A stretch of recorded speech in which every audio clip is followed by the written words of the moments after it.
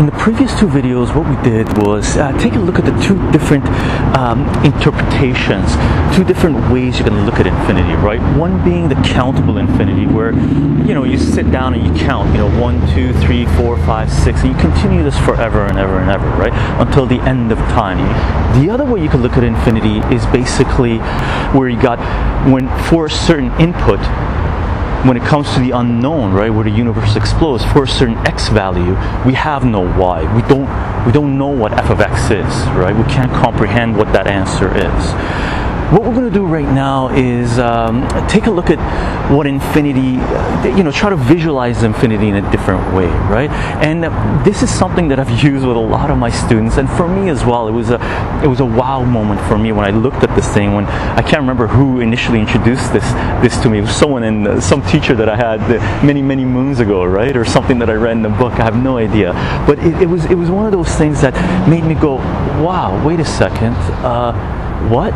You know, it blew me away, and that's what infinity is, right? It should it should really blow you away.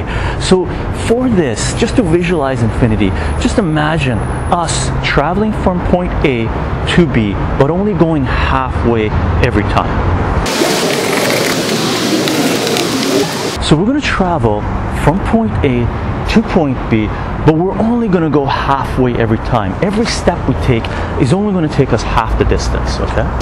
So from here, half the distance comes out to about here, right? So for our first step, we end up being here. Our second step is going to take us halfway between here and here, right? Which is around here.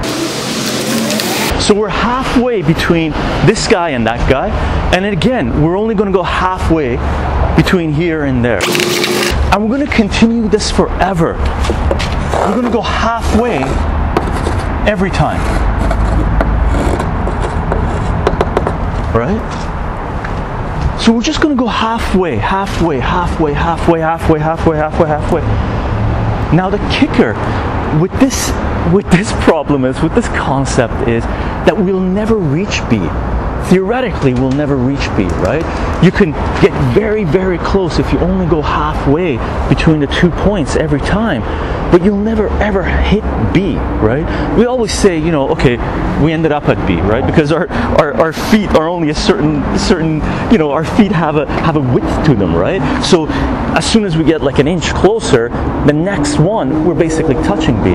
But in reality, if we only go halfway every time, we'll never hit B, right? So you're gonna get close enough that you're maybe a molecule away from B and you're going to cut that in half, right? Now you got half a molecule, you're going to continuously cut that. You're going to hit the atom length, right?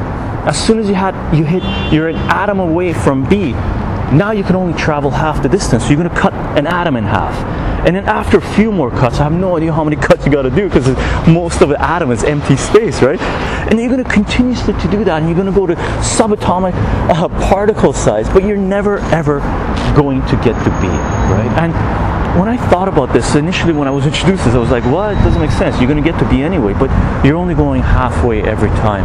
Now, later on, a few years later. Uh, the one the, the, next level of this that really blew me away and uh, again this was a, a, you know it wasn't an epiphany it was just like a wow moment like what does that mean if we never reach b that held until i got to a concept called Planck's length, Planck's distance. And what Planck's distance tells us is, and this is a concept in physics, Planck um, basically introduced uh, quantum mechanics to us, right? He introduced the concept of quanta, which is basically telling us that information comes to us in packets. And the smallest packet of information that can come to us is, is a ridiculously small number, right? And basically what that meant, what his, what his theory says, is that you can never go smaller than a Planck length. So just imagine doing this thing forever and ever and ever and ever, right? You're going to get to a place where you're a Planck length away from point B. And according to Planck, according to this theory is, we can't go any smaller than a Planck length now what happens, right?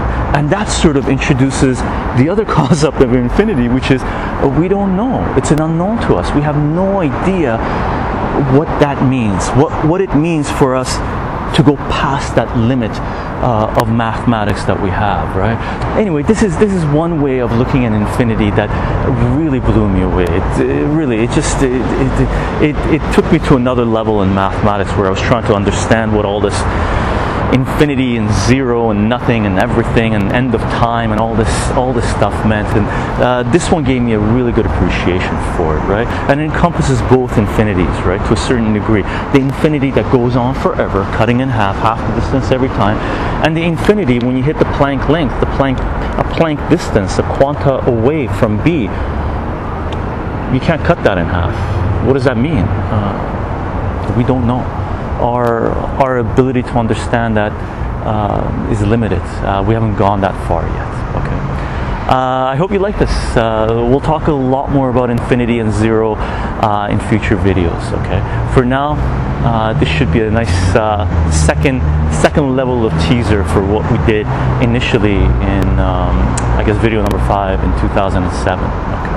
I'll see you guys in the next video. Bye for now.